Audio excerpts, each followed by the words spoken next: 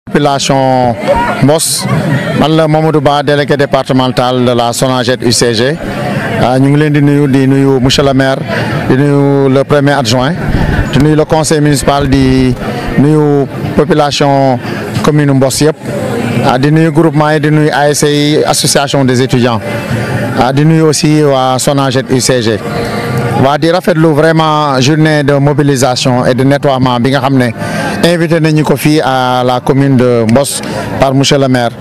donc euh, di ko si jaajëfal bu baax mu nekk initiative bu am solo donc ñun ñu nekk euh, société boo xam ne taxawaayam mooy accompagner population yi si nu ñuy def ba améliorer cadre de vie maanaam jàppale leen si set bi jàppale leen aussi si jël mbalit bi jàppale leen aussi si gérer mbalit bi donc euh, bi ñu ko monsieur le maire waxee vraiment tànqam ni wuñ ko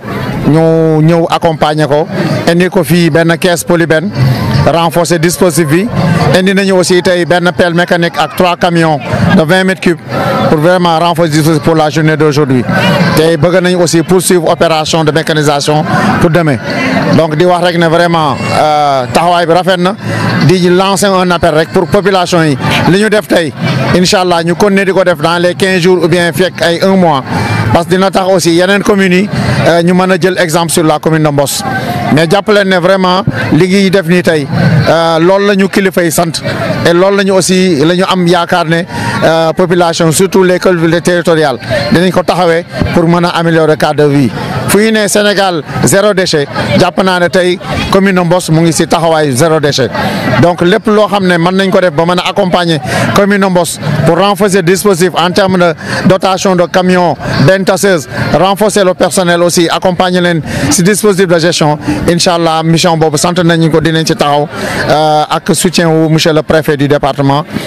pour que vraiment euh, taxawaayu liggéey bi ñu sas mu mën a gën a euh, am euh, xar kanam bu baax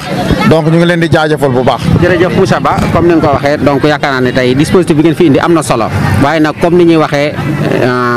nettoyer c'est bon mais c'est mieux de ne pas salir.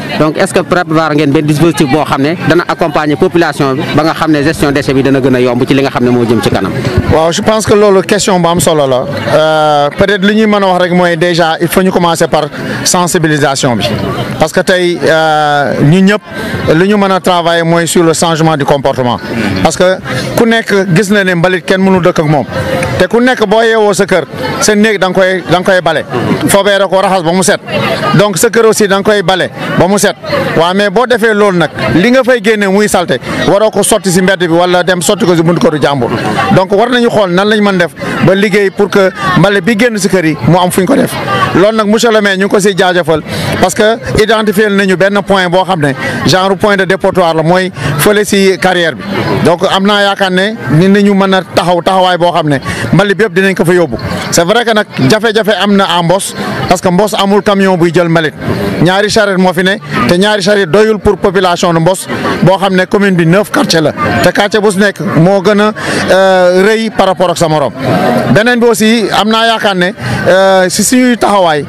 am nañu programme pour accompagner aussi les groupements am nañ si taxawaay bu am solo tey monsieur le maire def na liggéey bu rëy jox na groupement ay balai jox na leen ay râteau jox na leen ay brouette donc bu ñu travailler sur la sensibilisation xool aussi nan lañ mën def ba travailler sur la valorisation des déchets am na yaakaar ne mën nañu indi impact bu am solo si taxawaay bi parce que mbalit dañoo ne mbalit la waaye mbalit la boo xam ne mën na jur ëllëg koom-koom te loolu incha allah ak monsieur le maire dinañ si liggéey mais li gën a am solo daal mooy taxawaay bi mooy sensibilisation bi ñun ñëpp bu ñu jàppee ne waruñoo tilimal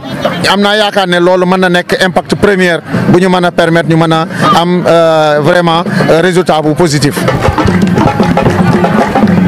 baal ma teel la yaay sama kilifa déedéet baal ma teel la yaay sama kilifa monsieur le maire. li si amoon solo monsieur Ba wax na ko donc ñun rek li ñuy def mooy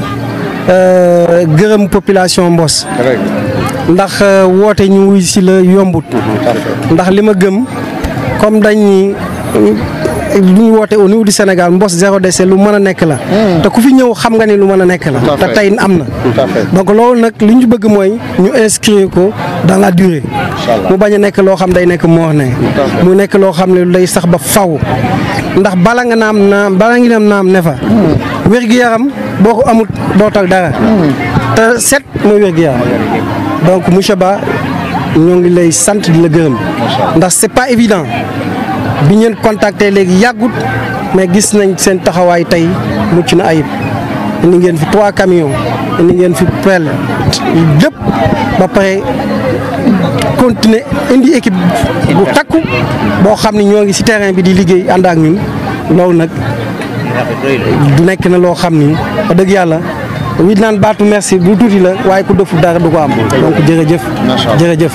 léegi nag li ñuy ñaan rek mooy solennellement mu nekk loo xam ni dañuy ñaan ñu am convention boo xam ni dafa ñu lié ñun ak yéen donc de ce fait que ñun au niveau de la mairie lépp loo xam ni mën nañ ko en terme d'équipement en terme loo xam mënta ñàkk te peut-être UGC mënuñu si jàppale ñun danañ jël suñu responsabilité inscrire ko dans notre suñu amoon carte budgétaire pour nuñ ko exécuter parce que lii moom jàpp naa ni mënta ñàkk ndax mbos comme ni nga ko gisee nii fii nga dem yëpp yëpp si lu ma la bokk dafay am marché hebdomadaire donc te nekk na loo xam ni le lendemain marché hebdomadaire dafay soxla yu mel nii ndax ku ne mbos ni samedi mbos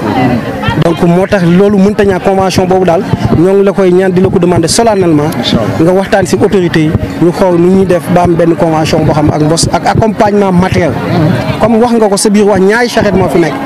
donc te ñaari charrette ku ne xam na ni mënut a def liggéey bu liggéey. liggéey bi ñu bëgg a liggéey. donc li si am mooy dinañ waxtaan bu ñu amee convention li ngeen mën a jël en charge ngeen jël ñu ko en charge ñu ñaan leen ko jël gis des ñun maire bi incha allah dinañ ko jéem a jël en charge. bu ko defee euh, lii mu nekk loo xam ne sax dàkk lay doon donc bu ñu amee agent yoo xam dañ fi mënti nekk ñu nit danañ continuer chaque fin du mois ñu jéem a ñëw accompagner leen si liggéey bi